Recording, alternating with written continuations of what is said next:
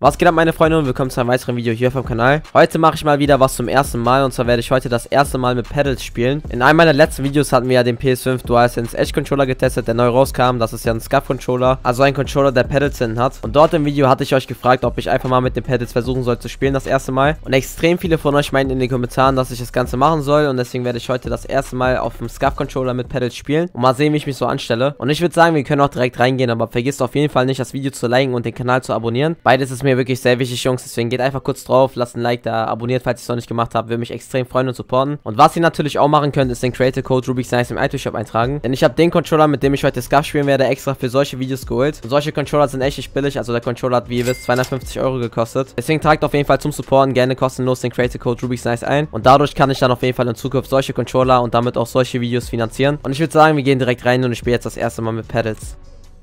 So Jungs, und ihr seht schon, ich habe jetzt hier auch direkt wieder den PS5 DualSense Edge Controller am Start. Und kurz bevor wir mit all dem starten, und zwar werde ich jetzt nicht im Detail die ganze Verpackung und so weiter zeigen, weil das habe ich alles schon im letzten Video gemacht, wo ich den Controller komplett gezeigt habe. Also falls ihr das Video noch nicht gesehen habt und euch interessiert, was alles mit dabei war und was der Controller alles kann, dann checkt einfach auf jeden Fall das letzte Video ab oder klickt hier einfach auf die Infokarte und dann könnt ihr euch dort das Video anschauen, wo ich wirklich alles rund um den Controller zeige. Heute beziehen wir uns wirklich nur auf die Pedals und dafür drehen wir einmal den Controller um, denn logischerweise sind die Pedals auf der Rückseite und ihr seht schon, die Pedals habe ich jetzt noch nicht dran gemacht. Ich wollte euch einmal zeigen, was ich jetzt hier erstmal genau vorhabe. Denn ihr wisst ja, bei äh, dem PS5 DualSense Edge Controller hat man jetzt verschiedene Möglichkeiten, welche Pedals man benutzt. Und zwar hat man einmal diese Pedals hier und dann hat man noch einmal diese Pedals hier. Also man hat zwei verschiedene Pedal, äh, Pedals, die man theoretisch dran machen kann. Und ich habe mir jetzt hier ein bisschen überlegt, wie ich das am besten machen kann, wie ich die Pedals am besten hier testen soll. Und ich habe mir gedacht, wir testen als allererstes, weil ich mich mit denen ein bisschen sicherer fühle. Beziehungsweise denke, dass ich mich mit denen sicherer fühle. Also weil ich ein bisschen vertrauter mit denen bin.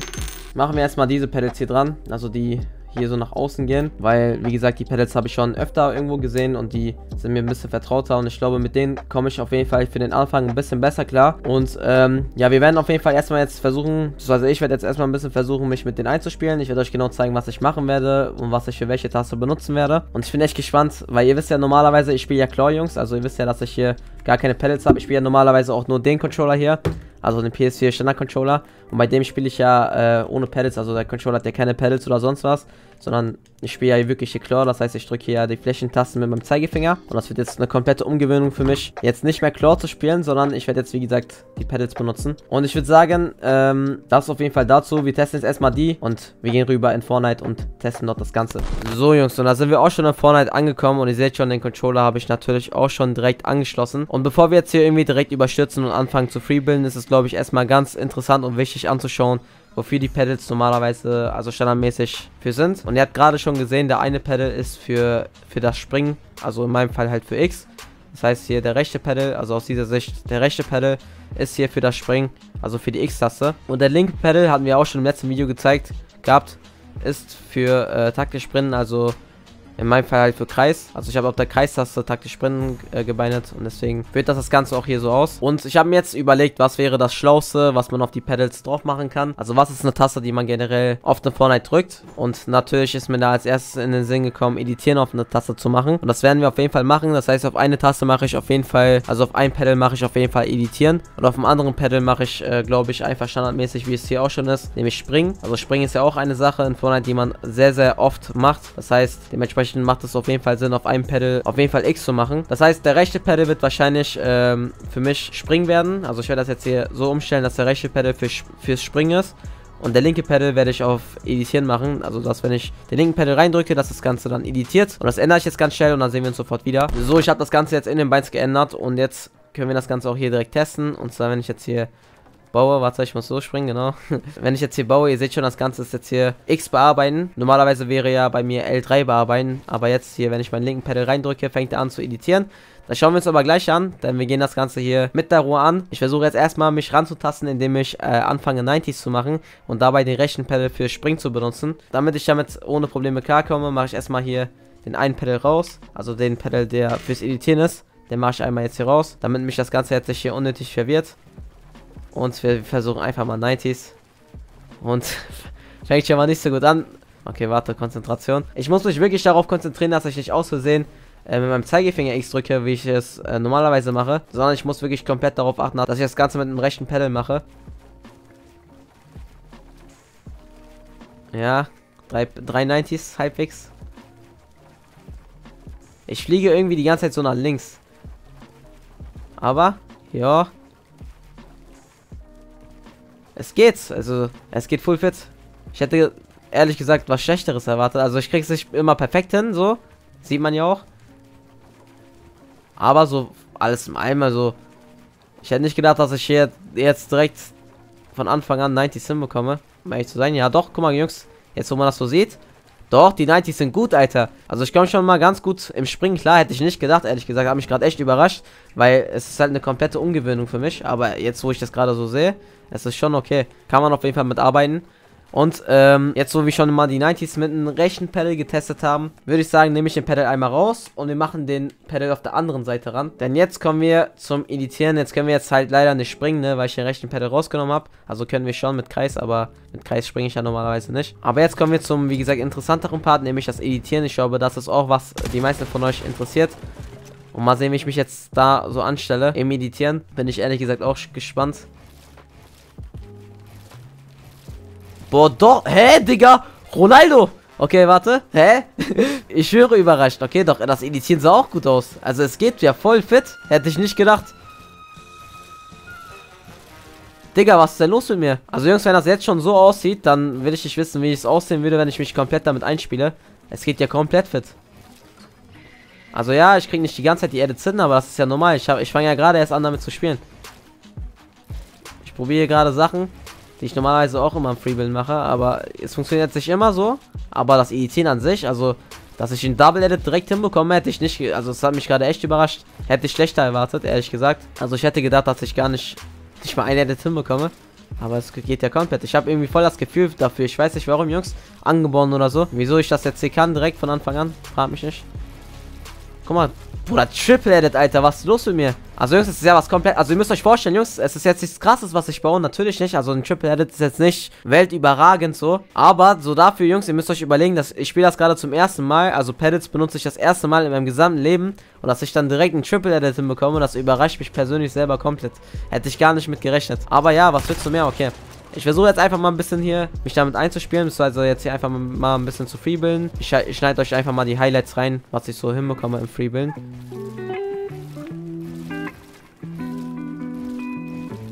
Ja.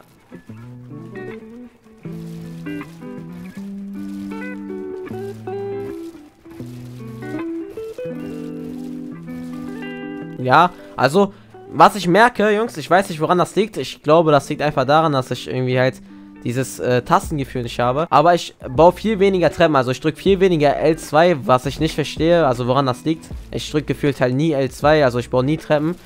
Und keine Ahnung, warum das Ganze so ist. Ich glaube, meine Finger denken einfach, also kommt nicht damit klar, dass es auf einmal eine Taste mehr gibt und deswegen wird irgendwie die L2-Taste von meinem Ringfinger ausgeblendet. Aber ich baue halt wirklich viel, viel weniger Treppen. Das ist mir auf jeden Fall jetzt hier direkt ins Auge gefallen. Ansonsten die Edits lassen sich auf jeden Fall sehen, also Triple Edits und so weiter.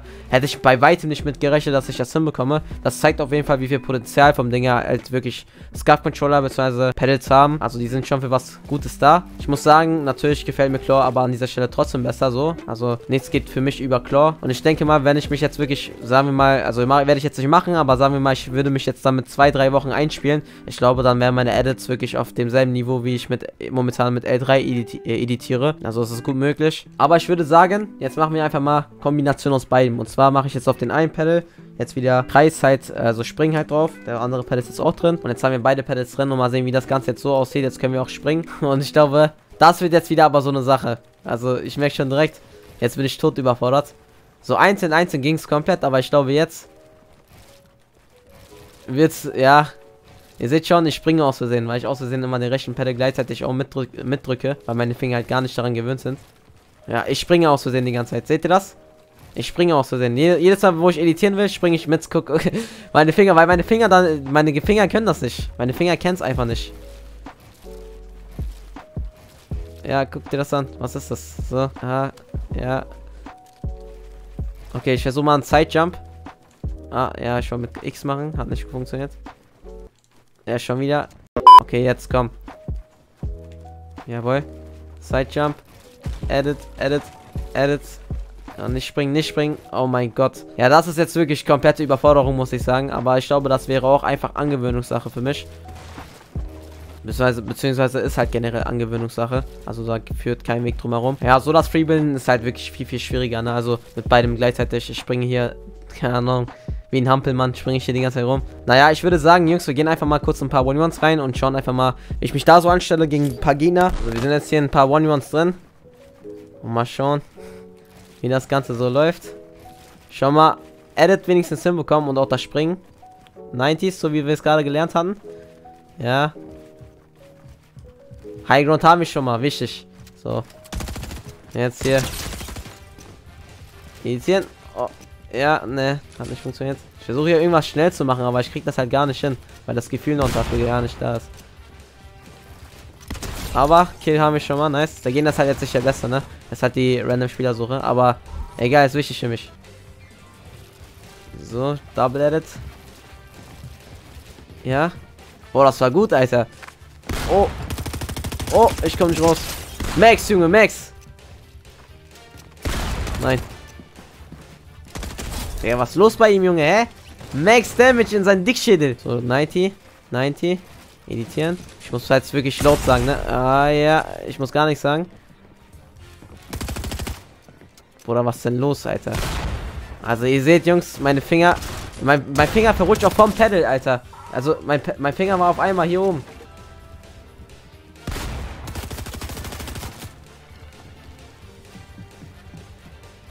Mein Finger verrutscht einfach vom Pedal. Ich weiß nicht warum. Also jetzt, wo ich gerade beide Pedal spiele, mein Finger geht einfach nach oben.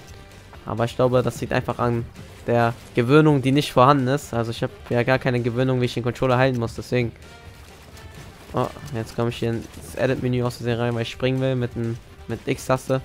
90, 90. Oh. Ja, guck dir das an, Alter. Zubauen. Ich will nicht springen, ich will editieren. Bitte, nein. Erst in meiner Box, editieren. Ja. Ey, Reset. Alter, Bruder, ist das schwierig, ne? Ah, Typ ist halt so schlecht, 90, 90. Also wenn ich es einzeln mache, geht's. Aber wenn ich beides in Kombination machen muss, guckt euch das an, dann passiert sowas. Äh, ja. Das funktioniert nicht. Es ist wirklich so schwer. Jawohl. Digga, der Typ ist komplett schlecht. Naja, Jungs, ich glaube, wir haben das Ganze jetzt hier auch im One gesehen. Natürlich, ich war jetzt gerade im One tot schlecht. Also wirklich in Kombination, Jungs. Einzeln, einzeln funktioniert Also ich kann einzeln springen und einzeln auch editieren. Es geht auf jeden Fall eigentlich fit so.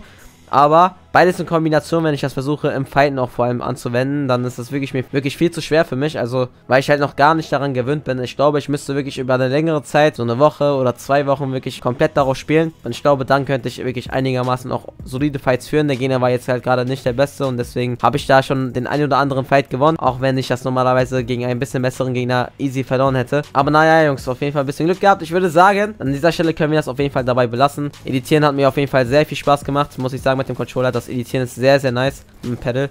Hätte ich nicht gedacht. Aber habe ich auch schon ein bisschen mit gerechnet, dass das äh, Editieren generell auf dem Pedal schon sehr, sehr nice sein äh, kann. Nur, dass ich selber damit äh, klarkommen würde, hätte ich nicht mit gerechnet. Falls ihr noch irgendwelche Sachen mit dem Controller hier sehen wollt, dann schreibt mir das gerne an dieser Stelle unbedingt in die Kommentare.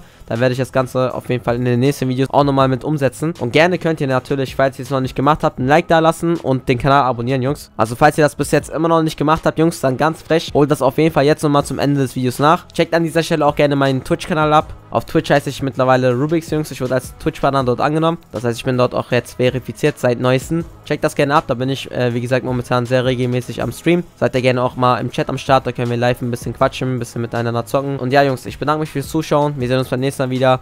Haut rein und ciao.